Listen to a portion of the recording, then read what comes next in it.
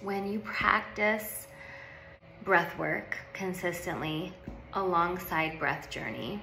So I feel that the best kind of practice or ritual is a daily practice of breath, whether you focus on a down regulating breath along with an up regulating breath, and then some kind of small mini journey where you do elongated circular breathing for a 15 minute, 20 minute amount of time daily.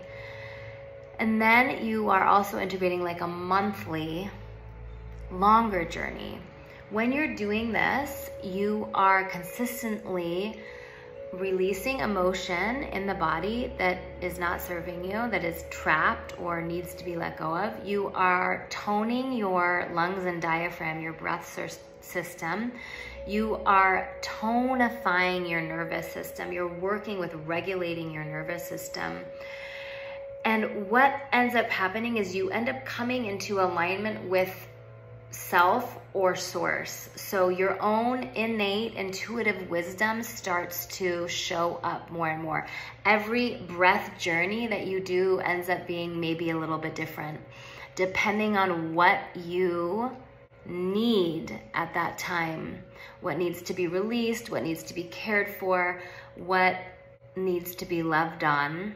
And then it happens in that journey, and you're trusting your own wisdom in that journey to breathe accordingly, to move accordingly, to flow accordingly, to rest accordingly.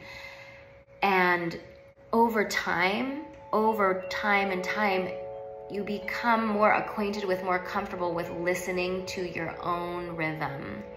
You become, it becomes easier to release. It becomes easier to let go, let flow. There's less resistance. There's more flow to do what it is that you need to do to take care of you. That, in some kind of essence, is what the whole point of breath work is, what the whole point of this ritualistic work is. And we are in a time that this is so needed. We are in this transitory time of head to heart, of the way the world even works, like moving out of this mental head trip and moving into heart, moving into spirit. We can feel it. And that is where the breath is bringing us breath is the bridge between ego, self, heart, self. It's, it's the bridge between the chasm because those two really are one. Everything wants to integrate so that our head integrates with the heart. So when we are moving from headspace, the heart is involved. Everything's together. I hope that makes sense and gives you a little to chew on.